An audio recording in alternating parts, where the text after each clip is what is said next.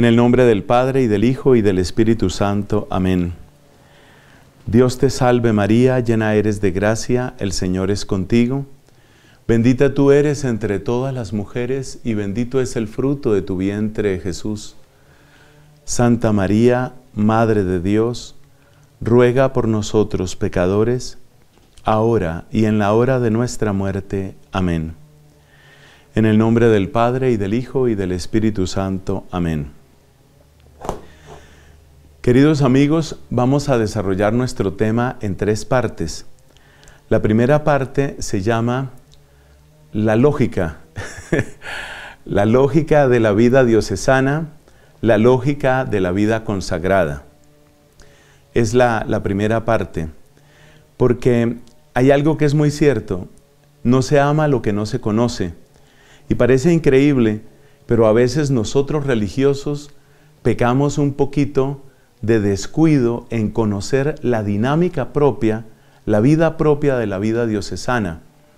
Entonces, eh, yo creo que eso ayuda y también, por supuesto, desde el lado de quienes están al frente de nuestras eh, diócesis y de nuestros servicios en las diócesis, es siempre importante enriquecerse un poco con cuál es el pensamiento, cuáles son las ideas fundamentales dentro de la vida consagrada. Entonces, de una manera muy esquemática, muy breve, vamos a ver esas, eh, esas dos partes. Lógica de la vida diocesana, lógica de la vida consagrada. En un segundo momento vamos a comentar sobre aportes más propios, los aportes más propios de la vida religiosa a la vida diocesana, que por supuesto es el tema central de esta conferencia. Y finalmente, vamos a hacer una pequeña meditación sobre cómo podemos estar más unidos dentro de cada comunidad religiosa, cómo podemos estar más unidos nosotros en cuanto consagrados y cómo podemos estar también más unidos en el servicio a la iglesia diocesana. Ese es el, eh, ese es el itinerario que vamos a seguir. Eh, en, una sola palabra, lo primero es las lógicas, lo que he llamado aquí las lógicas, en segundo lugar los aportes y en tercer lugar esta meditación sobre la unión. Entonces vamos con la parte primera. ¿De dónde viene la vida diocesana? Pues viene desde los orígenes, viene desde los orígenes, viene desde el mandato de Cristo. Observemos que en Mateo capítulo 28, nuestro Señor Jesucristo envía a sus apóstoles a que vayan a todas las naciones. ¿Qué significa eso? Ir a todas las naciones implica el mundo para Cristo, vamos a decirlo así simplemente. Implica que cada región, que cada lengua, que cada territorio exprese la gloria de Cristo. Esta misma idea la encontramos en el Apocalipsis. En el Apocalipsis leemos que llegaron gentes, llegaron convertidos, llegaron santos de toda lengua, pueblo y nación. Entonces el aspecto, llamémoslo así, territorial, es inherente a la vida diocesana en obediencia al mandato de Cristo. De hecho, la palabra diócesis, que proviene del griego, hace alusión a una región, una provincia, un sector, un sector. ¿Por qué? Porque la idea de fondo es que Cristo es rey de toda realidad humana y que por consiguiente el Evangelio debe llegar a todo territorio, a toda cultura, a toda etnia y población. Entonces, primer elemento en la lógica diocesana es un elemento territorial. Pero tomemos por favor esta palabra en el hermoso sentido evangélico que tiene de un modo así como entusiasta, lo podemos describir, el mundo para Cristo. De lo que se trata es de eso. Por eso es inherente a la vida diocesana el tener demarcaciones territoriales. Por eso el derecho canónico nos habla del ordinario del lugar, ordinario del lugar, los lugares para Dios, los lugares para que crezca el Evangelio. Y la dura responsabilidad del obispo en comunión con sus presbíteros es lograr eso, que este lugar, esta iglesia particular que peregrina en un determinado sitio, con una determinada historia, responda al Evangelio de Cristo. Entonces, ese es el primer elemento en la lógica diocesana, el elemento territorial. Y no le podemos quitar eso a la vida diocesana sin desfigurarla, por decirlo de alguna manera, o por lo menos sin diluir eh, el ímpetu de su llamado. Segundo elemento, por supuesto, si se trata de llegar a un lugar, es responsabilidad dentro de la diócesis el tocar todo tipo de población, a todo tipo de personas. El encargo durísimo que reciben los apóstoles se nota todavía con más fuerza en el Evangelio de San Marcos capítulo 16. Dice el evangelista que las palabras de Cristo resucitado son estas. Predicad el Evangelio a toda la creación. Algunos, como San Antonio de Padua o como San Francisco de Asís, llevaron ese mandato hasta el extremo de predicar a los pajaritos, por ejemplo, o a los peces. Pero el sentido usual de esas palabras, de llevar el Evangelio a toda la creación, quiere decir que todo género de personas, en todo lo que significa su vida, busquen, tiendan hacia Cristo. Porque como nos dice San Pablo en Romanos capítulo 8, la creación espera expectante la manifestación de los hijos de Dios. Es decir, que la solidaridad entre el conjunto de la creación y el ser humano hace que la santidad del ser humano, la santidad del hombre arrastre a la creación, la lleve, la reconduzca hacia Dios. Por el contrario, el pecado, la desobediencia del hombre hará que la creación caiga en desorden, caiga en cautividad, según la palabra de San Pablo. Entonces, es parte de la vida diocesana el tocar todos, el tocar la vida de todos. Por eso hay que pensar en pastoral de infancia, pastoral de enfermos, donde es el caso, pastoral de desplazados, pastoral de reclusos, los que están privados de la libertad, matrimonios, jóvenes, adultos mayores. Eh, realmente, dentro de la vida diocesana se realiza aquello que nos dice San Pablo. Me he hecho todo para todos para tratar de ganar a todos. Entonces, segundo elemento diocesano, el primer elemento era territorialidad, bien entendida por supuesto. El segundo elemento es universalidad. Y el tercer elemento muy bello de la vida diocesana es sacramentalidad. Territorialidad, porque queremos el mundo para Cristo. Universalidad, porque somos llamados a tocar todas las vidas con el Evangelio. Sacramentalidad. ¿Por qué? Porque Cristo no envía desprovistos a sus apóstoles, bien sabemos que nuestros obispos son los sucesores de los apóstoles, Cristo no envía desprovistos a sus apóstoles, sino que los capacita con una unción. Esa unción, esa autoridad particular que recibe el obispo, esa autoridad para predicar, esa autoridad para atar y desatar, y sobre todo esa autoridad junto con los demás hermanos del colegio episcopal, autoridad para presentar el Evangelio con poder, como dice Hechos de los Apóstoles, con parresía, con parresía, esa valentía del que sabe a quién pertenece.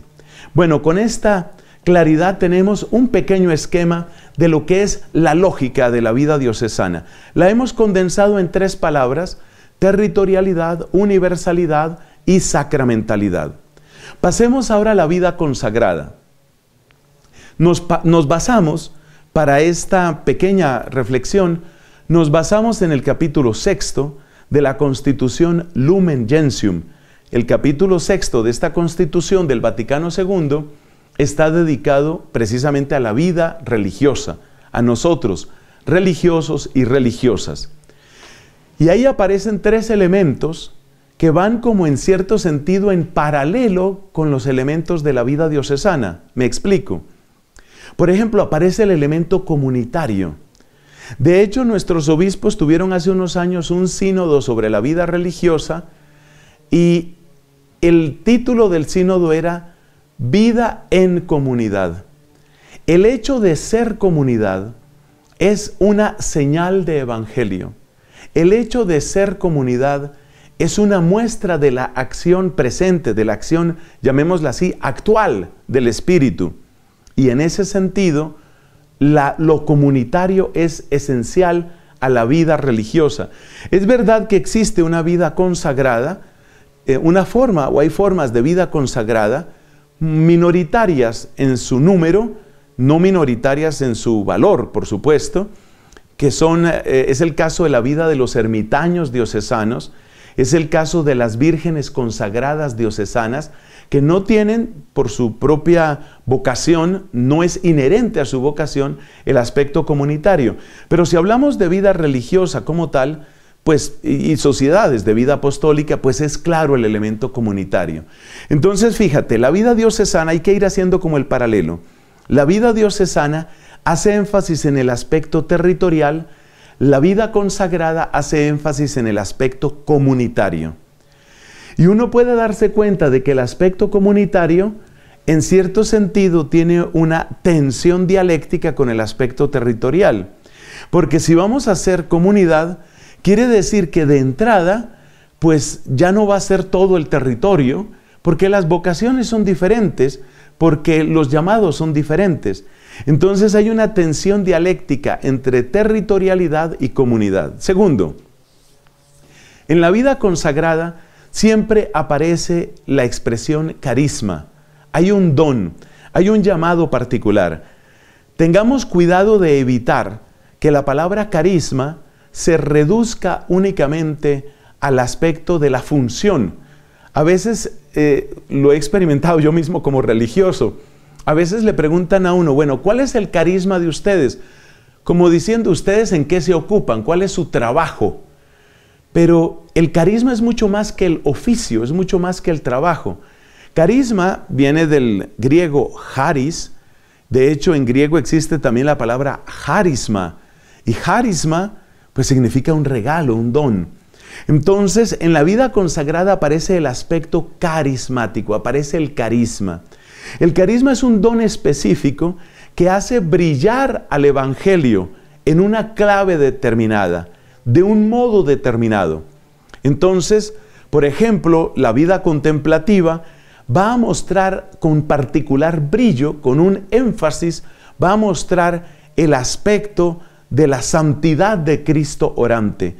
Luego podemos encontrar que aquellos que se dedican a, los sin techo, a los más pobres, están mostrando otro aspecto.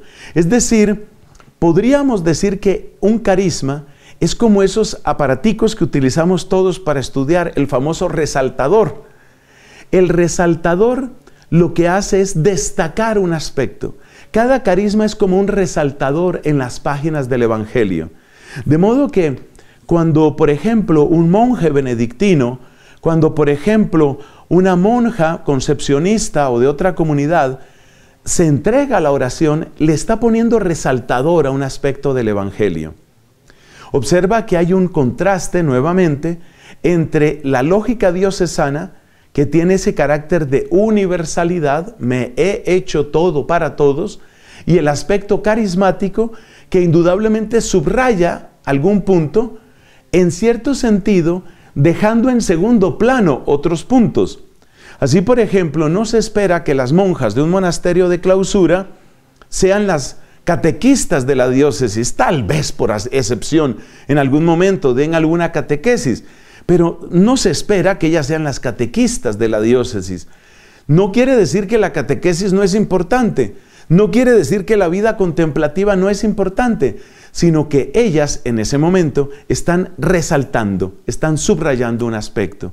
Por eso la vida diocesana se enriquece con la multiplicidad de carismas, porque es evidente que cuanto mayor sea la presencia de la vida consagrada dentro de la diócesis, como que más aspectos del Evangelio brillan cada uno con su propio esplendor.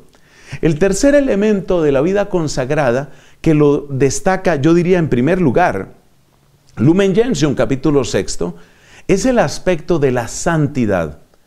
podemos decir que lo propio de la vida religiosa no está en el orden sacramental, aunque algunos religiosos, como este servidor, somos también presbíteros, hemos recibido el sacramento del orden. Pero lo principal, lo característico de la vida religiosa no está en la sacramentalidad, sino en la santidad. Podemos decir que la vida consagrada está llamada a jalonar, a lanzar hacia adelante el conjunto de la vida de la diócesis, sobre todo por ese testimonio de santidad. Uno se da cuenta, yo creo que cualquiera de nosotros, diocesanos, religiosos, todos nos damos cuenta del impacto que tienen los consagrados, pues si vivimos nuestra vocación, porque a veces no la vivimos, seamos sinceros, pero si vivimos nuestra vocación, es impresionante lo que se puede hacer por alentar la vida cristiana en el conjunto del pueblo de Dios. Entonces, eh, resumimos esta primera parte y cerramos. Hay una lógica diocesana que está basada en tres palabras, territorialidad, universalidad y sacramentalidad. Y hay una lógica de la vida consagrada que se expresa también en tres palabras, comunidad, carisma y santidad. Nos hemos dado cuenta también en esta primera parte que fácilmente se puede dar una especie de tensión. Me gusta una expresión que utilizó el Papa Francisco no hace mucho, hablando de, ciertas situaciones en la iglesia. Decía él, es que también la tensión puede ser señal de vida. Porque donde no hay ninguna tensión es en los museos. Ahí todo está muerto, está bien ordenado, pero todo está muerto, ahí no hay ninguna tensión. Este jarrón no pelea con este cuadro, y este cuadro no pelea con aquella escultura. Pero ahí todo está muerto.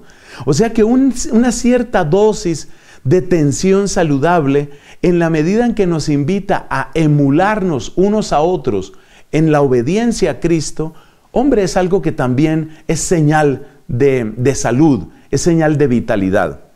Pasemos a la segunda parte, eh, queridos amigos. Pasemos a los aportes. Desde lo que hemos visto de la vida consagrada, yo creo que es interesante eh, examinar estos distintos aportes que pueden darse y, que deben darse en cierto sentido. Parto de la palabra que hemos dicho en último lugar, la santidad. El gran aporte de la vida consagrada a la vida diocesana se llama testimonio. Es el testimonio. Testimonio que podemos subdividir basándonos en distintas catequesis, entrevistas y declaraciones del Papa Francisco. Podemos dividir ese testimonio en tres o, destacar sobre todo tres elementos. La vida religiosa está llamada a ser testimonio de radicalidad, testimonio de alegría y testimonio de cielo. No le tengamos miedo a la palabra, testimonio de cielo. Radicalidad. Precisamente los consejos evangélicos son expresión de ello. Es algo así como lo que le dijo Cristo a Santiago y Juan. ¿Podéis beber el cáliz que yo voy a beber? Y varios padres de la iglesia comentan, lo bebieron y lo bebieron hasta el fondo.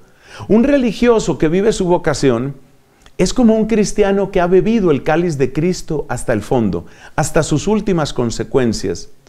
Por eso están llamados, estamos llamados los religiosos a una particular radicalidad. Pero atención, radicalidad en todo, porque a veces se toma la radicalidad solo en algunas dimensiones. Por ejemplo, queremos ser radicales en la pobreza y en, y en la vivencia de la pobreza y en el profetismo de la pobreza. Maravilloso. Pero si vas a ser radical en la pobreza, que se te vea también la radicalidad en la pureza, en la castidad, y que se te vea también la radicalidad en la obediencia. No nos vaya a pasar a nosotros, como sucedió en el siglo XIV, con unos religiosos que se fueron desviando, desviando, los famosos fratricelli, que ellos eran súper radicales en el tema de la pobreza. Pero a nombre de la pobreza, entonces empezaron a decir que el Papa no tenía autoridad sobre ellos porque el Papa no vive la pobreza como hay que vivirla. Y con esa manera y con ese lenguaje, pues ya se declararon por fuera. Entonces, fíjate, era una radicalidad por un lado, pero no era radicalidad en otro sentido, no era radicalidad en lo que tiene que ver con ese morir a nosotros mismos como Cristo lo entregó todo en la cruz en obediencia al Padre.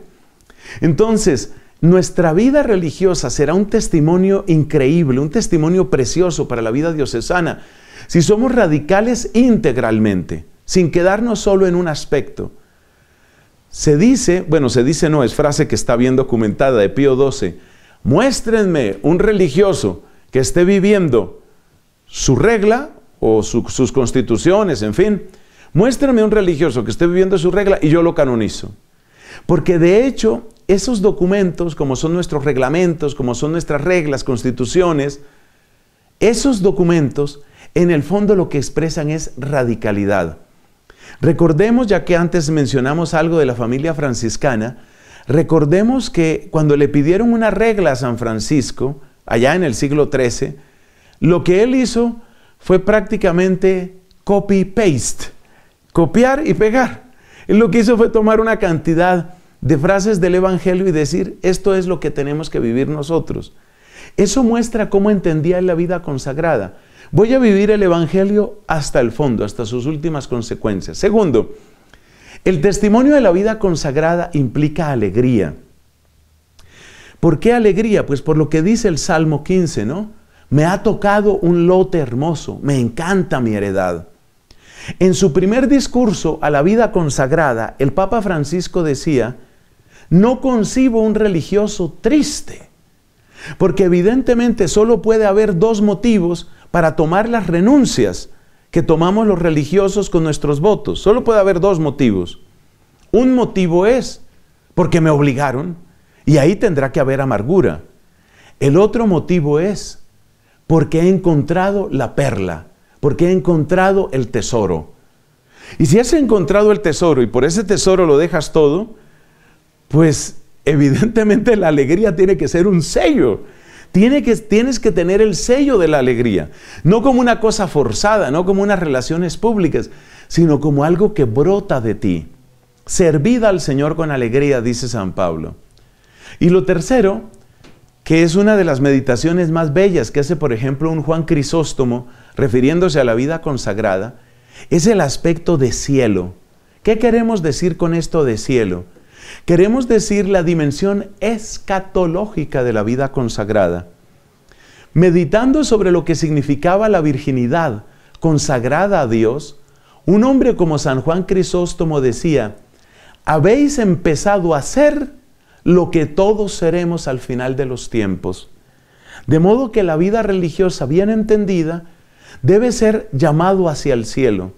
También recordamos aquella conversación o discusión de Cristo con los saduceos, cuando le ponen ese ejemplo ridículo de la mujer que estuvo casada con siete hombres, uno después de otro, porque eran hermanos y tratando de dejar descendencia. Y entonces terminaron los saduceos con este chascarrillo, tratando de hacer quedar en ridículo a Cristo, ¿no? Y cuando resuciten los muertos, ¿de quién va a ser esposa? Ellos creían que con esa frase absurda dejaban en ridículo a Cristo. Cristo les respondió con dureza y les dijo, ustedes no entienden las escrituras ni conocen el poder de Dios. Y luego pasa a explicar que el don del matrimonio, como muchos otros dones, termina en esta tierra y que lo propio de la vida celestial realmente se asemeja a lo que son los santos ángeles. Ahí no hay propiamente unión de hombre y mujer de ninguna manera.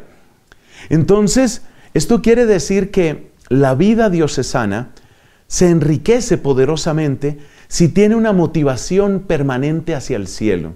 Entonces, ¿qué aporta la vida consagrada? La vida consagrada aporta testimonio de radicalidad, de alegría y de cielo. En segundo lugar, la vida consagrada aporta dinamismo, se entiende inmediatamente. Cuando los religiosos vivimos lo que hemos de vivir, eso implica un dinamismo. En muchos lugares se han dado experiencias realmente muy bellas de servicio de la vida religiosa en la vida diocesana. Muchas veces la labor misionera, la labor educativa, el cuidado de los enfermos, la intensidad en la oración, se ven enriquecidas. Pues ¿cómo no va a ser así? Si llega a mi diócesis, por ejemplo, una comunidad que es contemplativa, y uno participa tal vez de esas oraciones, ve ese gusto, esa adoración, eso que se siente, que no hay que ni describirlo, es que se siente, eso crea un dinamismo. Si llega a la vida diocesana una comunidad con un fervor único para comunicar el Evangelio a niños, a jóvenes, indudablemente eso se convierte en una motivación, se convierte como en un ejemplo que arrastra. Mira que sí se puede llamar a la santidad a los jóvenes. Mira lo que están haciendo tales hermanas o tales frailes o tales monjes. Mira lo que están haciendo. Entonces hay dinamismo, hay novedad.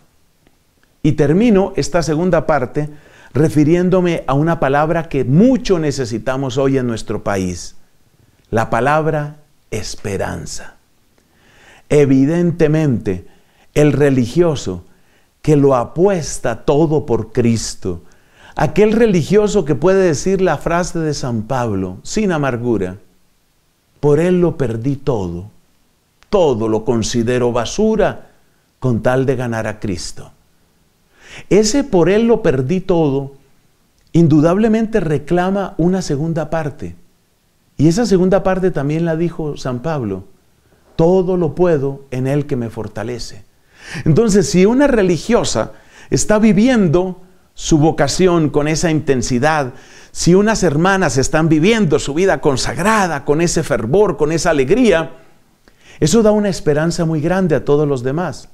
No se nos olvide que el conjunto de las personas de una diócesis, esto incluye niños, jóvenes, familias, viudos, separados, enfermos, en fin, todas esas personas, bueno, en realidad todos nosotros, experimentamos o experimentaremos en algún momento el desaliento, el declive. Yo pienso, por ejemplo, en el sufrimiento que han tenido tantos padres de familia. Mire, es que llevamos cinco o seis meses en esta pandemia y ustedes quizás lo saben mejor que yo, pero yo también lo he conocido y, digamos muy de cerca. El agotamiento mental, psicológico y espiritual. Y espiritual. La pregunta que más me hace la gente es, ¿y nuestros sacramentos? ¿Y los templos? ¿Y la iglesia? Yo sé que hay medidas que hay que tomar y todo aquello, pero lo que quiero destacar es cómo las personas sienten que desfallecen, que se les acaba el impulso, que no es fácil. Muchas veces la vida de nuestros hermanos en el sacerdocio, nuestros sacerdotes diocesanos, no es fácil. Recuerdo el testimonio que daba en un retiro que pude ofrecer a unos hermanos sacerdotes. Recuerdo el testimonio que daba un sacerdote por ahí en una conversación informal. Él decía que muy recién ordenado como nos suele pasar a muchos, ¿no? Pues él quería convertir al mundo entero, como no podía convertir al mundo entero, pues su parroquia. Y empieza con todo tipo de iniciativas, vamos a hacer esto, y el grupo juvenil y el coro, y vamos a hacer. Y a veces, a veces el sacerdote también se desalienta, es que es muy humano, es que es muy natural. Eso de que tú convoques, bueno, vamos a empezar, no aparece nadie o no aparece casi nadie, o la gente empieza y se desanima. Entonces la vida religiosa, en la medida en que se convierte en un fogón de amor, en un fogón de Pentecostés, en un fogón de Espíritu Santo, la vida religiosa se convierte en una fuente de esperanza, como en un faro, un faro modesto, no es que nosotros vamos a reemplazar a nadie, pero es un faro muy bello y es un faro que alienta, un faro que le dice al padre de familia que está batallando en el océano de la crianza, que no es nada fácil, nada fácil, le dice, mira, hay esperanza, se puede lograr, te tendemos una mano, vamos a apoyarnos. Eso tiene mucha fuerza. Entonces cerramos esta segunda parte resumiendo lo, lo, mucho que puede dar la vida religiosa a la vida diocesana. Ante todo el testimonio de radicalidad, de alegría y de cielo, luego el dinamismo, luego la novedad, que, eso rejuvenece también a una comunidad diocesana, y luego la esperanza. Bueno, pasemos a nuestra última parte. He dicho en la primera parte de esta pequeña exposición, he dicho que es hasta cierto punto natural que se presenten algunas tensiones entre vida diocesana y vida consagrada. Pero es muy importante que nosotros sepamos resolver esas tensiones del modo más sano, más evangélico y por supuesto el que le da la mayor gloria a Dios. Tenemos que ser expertos en, unidad, expertos en unidad. ¿Qué nos une? Pues nos une todo, pero de un modo muy concreto, hay cuatro elementos que yo quiero mencionar que indudablemente facilitan mucho el trabajo de caminar juntos, el avanzar juntos, que es hoy una de las consignas principales en nuestra querida diócesis de Zipaquirá, ese aprender a caminar juntos. ¿Qué nos puede ayudar? Mira, la palabra de Dios. Primero, volquémonos a la palabra de Dios, porque de ahí brota todo. Cuanto más evangélica, por supuesto en el sentido de próxima al Evangelio, sea nuestra vida diocesana, y cuanto más evangélica sea nuestra vida consagrada, mayor comunión vamos a tener en todas las iniciativas. No significa que la misma idea que se te ocurre a ti tiene que ocurrírseme a mí, no. Pero sí significa que nosotros tenemos que buscar en la palabra de Dios los puentes más profundos que nos unen. Porque si tú estás obrando según la palabra, y si yo escruto esa palabra, muy pronto voy a entender lo que tú quieres hacer. No me va a parecer ay, estas cosas tan raras, ahora con lo que salieron. No, no me va a parecer simplemente exótico. La vida religiosa no tiene que ser definida por ser exótica. La vida religiosa destaca y subraya aspectos, pero que están ahí. Entonces, lo primero que ha de unirnos es eso. Cuanto más volcados estemos en nuestras diócesis a la palabra de Dios, a conocerla, orarla, celebrarla, predicarla, vivirla. Y cuanto más los religiosos tomemos esa misma actitud, sin dejarnos ideologizar, que esa tentación también existe. Recuerdo aquí entre paréntesis un estudio que tuve que hacer sobre la realidad de la iglesia a finales del siglo III y comienzos del siglo IV, la época de Arrio. Y resulta que esta eh, tendencia arriana, pues en parte se difundió pues por muchos consagrados y consagradas. E, e, es algo triste. Así como muchas veces los religiosos hemos sido vanguardia en la evangelización, tenemos que tener mucha, mucha atención y mucho cuidado sobre nosotros mismos, porque la ideología también nos puede tentar. Es decir, la moda de una cierta teología, la moda de un cierto predicador, la moda de un cierto estilo pastoral, nos puede atraer tanto que nos quedemos únicamente con eso que en el fondo es una moda, que en el fondo es una ideología. Por eso es muy importante que nosotros, tanto diocesanos como religiosos, hagamos fuerte autocrítica. Esto que se dice tanto, esto que es ahora tan popular, esto que se vende tanto, ahora que hay tanta literatura sobre este tema, un momento, hay que hacer una pausa y decir, ¿pero esto es del Evangelio? Yo solo voy a dar un ejemplo que es autobiográfico, tiene que ver con mi comunidad, pues por supuesto soy dominico. En una época en mi comunidad se hablaba mucho de cómo nosotros debemos predicar un evangelio que lleva a los pueblos a ser dueños de su destino, a ser conscientes de su dignidad y dueños de su destino. Y yo me acuerdo que esa expresión se oía mucho, les estoy hablando de hace 30 años. Yo tengo 28 de ordenado por misericordia de Dios. Les estoy hablando de hace 30, 35 años. Se oía mucho ese lenguaje hacer a los hombres y mujeres conscientes de su dignidad y a los pueblos eh, dueños de su destino, eh, autónomos. Y entonces, en algún momento con algunos compañeros Quizás éramos demasiado críticos, si lo quieres mirar así. Con algunos compañeros dijimos, oye, pero espérate, eso de que un pueblo sea dueño de su destino, ¿dónde está en la palabra de Dios? ¿Dónde está en la predicación de los padres? ¿Dónde está en el testimonio de los santos? ¿Dónde está en el magisterio de la iglesia? Y empezamos, algunos empezamos a tomar distancia de ese lenguaje. No porque esté mal lo de la dignidad de todo hombre y toda mujer, bendito sea Dios. Eso es precioso, esa primera parte es preciosa. Pero eso otro de que pueblos que son dueños de su destino, ¿de dónde sale eso? Y eso se regó mucho en una época en mi comunidad. No, no hablo de otras comunidades, hablo de lo que yo conozco. Entonces, por e, esto lo cito como ejemplo de por qué es necesario volver a la palabra de Dios y no permitir que simplemente una moda, una tendencia, una palabra que se dice más o menos con, con alguna frecuencia y popularidad, ya eso entonces nos, se, se convierte en una especie de norma para nosotros. Y lo mismo también en la vida diocesana, también pasa eso. El desconocimiento de las exigencias del Evangelio a veces puede llevar a una especie de mediocridad tácita. Hay que tener cuidado con eso. Una mediocridad tácita que no va con el Evangelio, porque el Evangelio habla muy claramente.